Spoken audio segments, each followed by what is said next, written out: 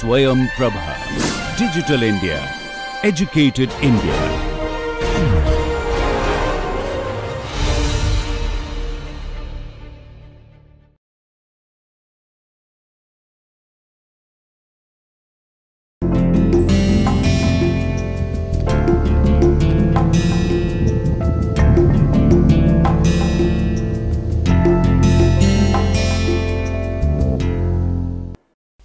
Morning, friends.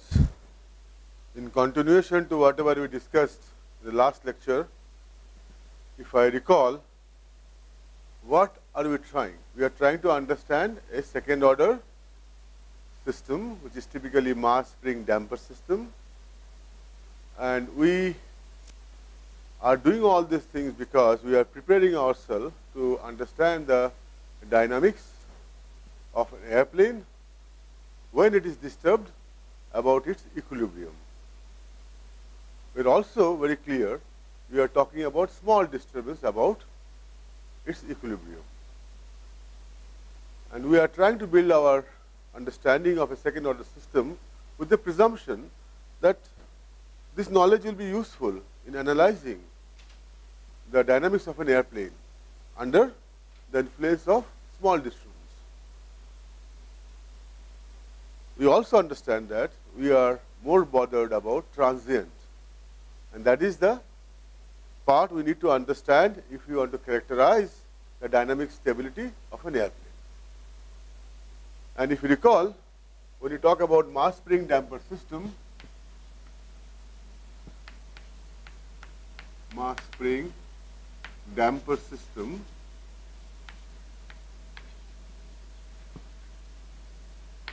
we got equation of this form x double dot plus c by m x dot plus k by m equal to ft. But if it is a free response, this is equal to 0 for free response. And this is what we are looking for, right? We also understood when we try to find its characteristic equation, we realized that depending upon the value of C, M and K in their combination, I could have situations where C is the damping coefficient is less than a particular value, say C less than C critical.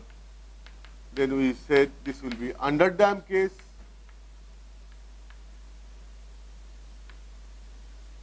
If C is greater than C critical, we said it is overdamped and C is equal to C critical. It is the boundary between overdamped and underdamped case, but we also know one thing that if the damping coefficient C is chosen such that it is equal to C critical, then the time to return to the equilibrium will be not only non-oscillatory, it will be fastest. You also realize that if it is over damped case, there won't be any oscillation, but it is under damped case, then there will be oscillation and it will take some time to come back to the equilibrium. In understanding this, we try to define two things which are important, zeta and omega n. And zeta is the damping ratio. It is actually the ratio of actual damping C divided by C critical right? We recall C, sorry, zeta is C by C critical. So if zeta is less than 1, that means C, the damping of the system is less than C critical, so it will have an underdamped response. If zeta is greater than 1, it will have an overdamped response because that time C is greater than C critical. And if C is equal to C critical, then there is a boundary. It will also be non-oscillatory, but it will come back fastest return fastest to the equilibrium once the disturbance is withdrawn. We are all talking about the disturbances when you are assuming that there are small disturbance about the equilibrium. And so we realize that if this equation, which is equation of motion for a mass spring damper system, that is how its x coordinate is changing, how this gentleman is moving in x direction. So this is the equation of motion, and we realize that if we can transform this equation of motion using zeta and omega n, where omega n is the natural frequency, and we understand natural frequency means the frequency of oscillation if damping is zero. Okay? So in doing that, we, we came up to a point where it is d square x by dt square plus 2 zeta omega n into dx by dt plus omega n square x is equal to 0. And it goes without saying when I write x, this means x function of time, this is function of time, this is function of time. This is same equation as the equation given by this for a free response written into using zeta and omega n. Okay? Now, we'll have a little bit of halt and we'll try to learn the last thing which is required from mathematical background. And then as I promised you, after this lecture, you are ready for utilizing this understanding for analyzing dynamic stability of airplane. If you see here, we are talking in terms of time domain because x of t, right? This is in time domain. We are also observing that this is a differential equation, right?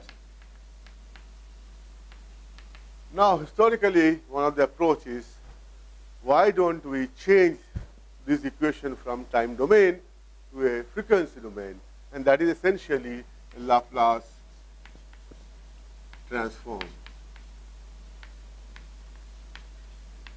We'll just use the gist of Laplace transform and whatever I am telling you, if you recall this much, it's good enough for our future analysis, right? Laplace transform of a function is defined as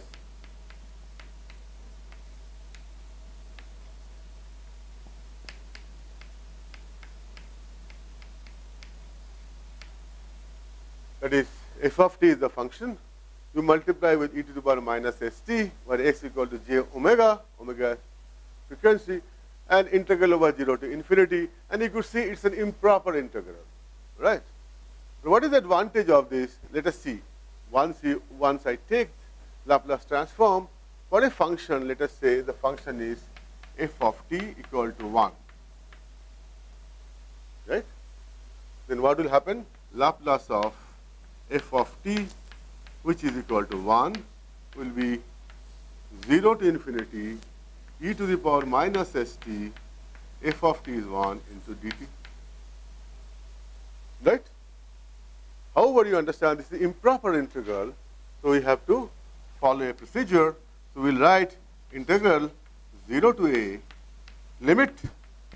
Don't get confused with limit and all such things. Limit a tends to infinity e to the power minus st into dt. And then this will be equal to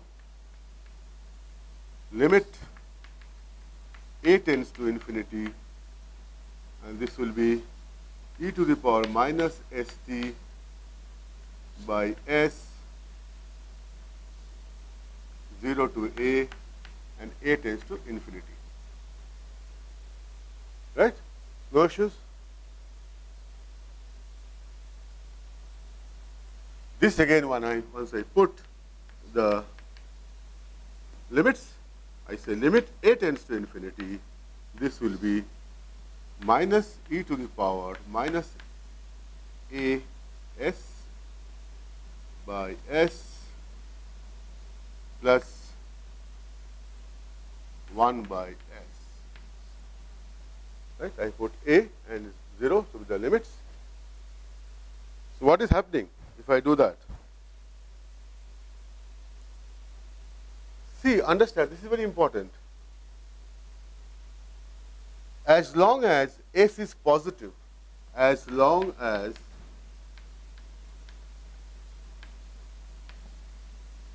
S is greater than 0, if I take this limit, this gentleman will go to 0 and the result will be 1 by S.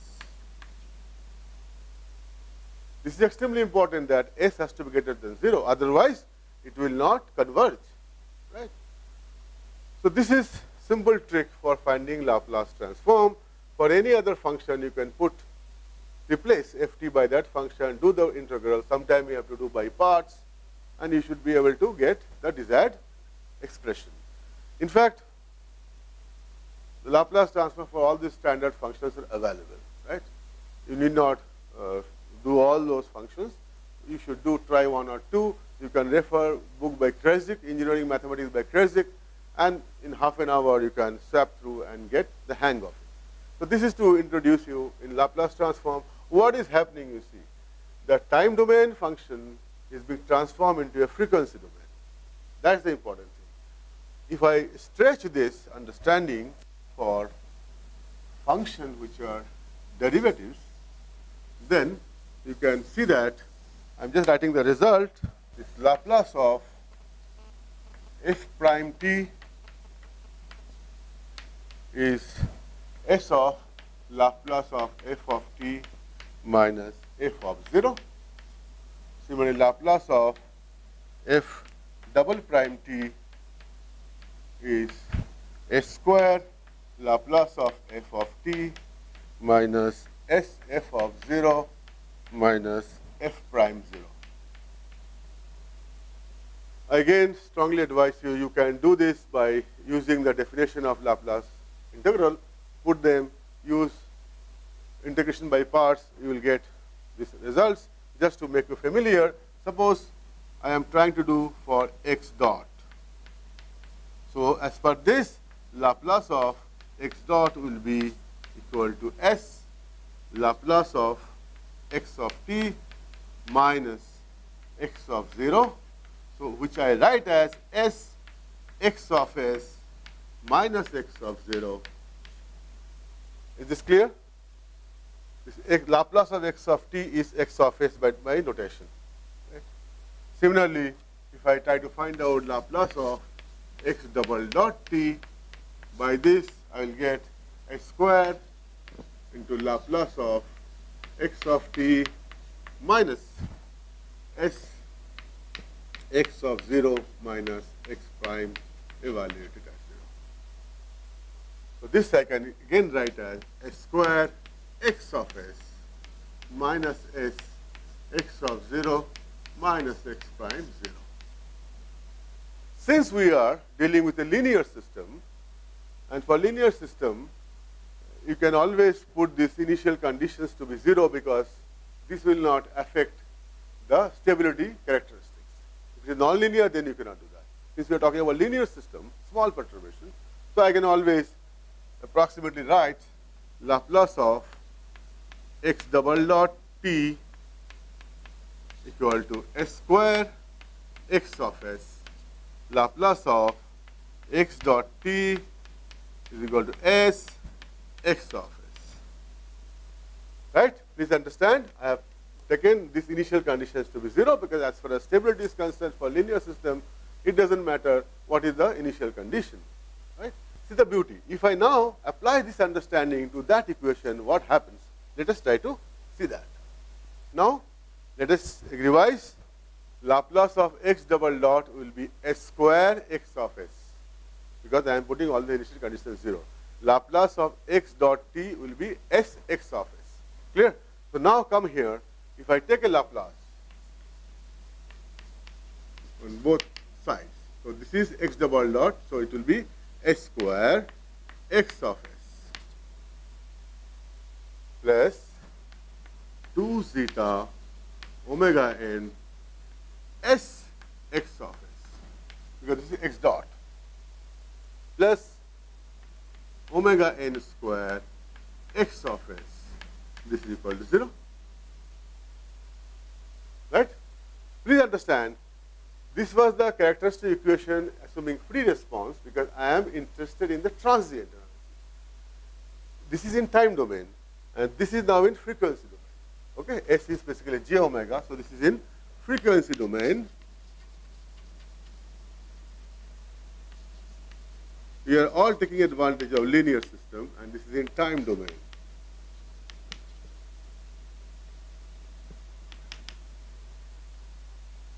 So now what are the differences you are finding here? Please see here. The moment I take a Laplace transform over this equation, this resulting characteristic equation is an algebraic equation, isn't it? You see, this was differential equation, and this is algebraic equation. This is the first advantage we got. And that will be our prime advantage for working in the frequency domain or using the Laplace transform. So now what is the characteristic equation? Equation is x of s, if I take common, then it will have x squared plus 2 zeta omega ns plus omega n square equal to 0. Right? So my characteristic equation now becomes x square plus 2 zeta omega ns plus omega n square equal to 0.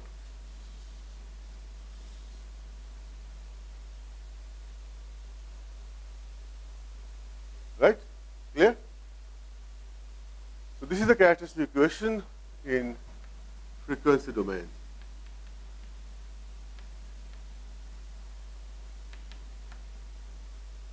Now see how we can use it. Why we have come down to this sort of equation?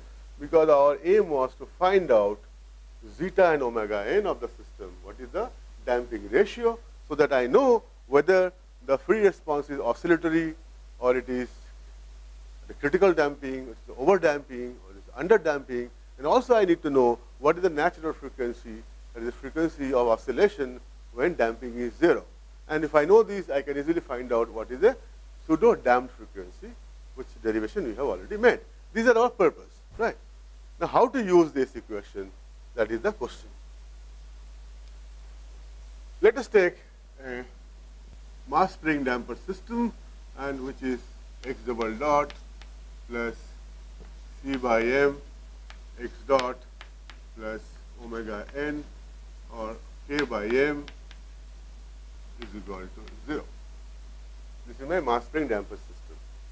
Now I want to find out what is the value of zeta and what is the value of natural frequency. What I do, I take Laplace transform. So I get a square x of s plus c by m s x of s plus k by m x of s equal to 0. Right? I've just taken Laplace transform here. I know for x double dot it is s square x of s. For x dot it is s x of s. For x it is x of s. So if I take x of s common, I have s square plus c by m s plus k by m equal to 0. What is my characteristic equation? It is s square plus c by m s plus k by m equal to 0. Now, I want to find out what is the expression for zeta and omega n for the second order system. We are very comfortable now. We know that for second order system, the characteristic equation can be also written in this form that is x squared plus 2 zeta omega ns plus omega n square equal to 0. So I can map this and this and find out what is the value of omega n and zeta. If I compare, if I compare this, I get omega n square equal to k by m and 2 zeta omega n equal to c by m. I'm just comparing these two equations. S square, S square. 2 zeta omega n is nothing but c by m. Then k by m is nothing but omega n square. So what does this tell you? The natural frequency is under root k by m and zeta will be equal to c by 2m right into 1 by under root k by m. See zeta will be equal to c by 2m here by omega n, omega n is k. That is, if I know the value of spring constant k for the spring, if I know what is the mass of the spring, I will be able to get the value of zeta and natural frequency. Is this clear? So that is how it is very handy. Is this clear? Okay. We'll be solving few examples and you realize it is also important to know whether the system will be oscillatory or it will be just without any oscillation come back to the uh, equilibrium. All those finer details we will see as we progress, right? Okay.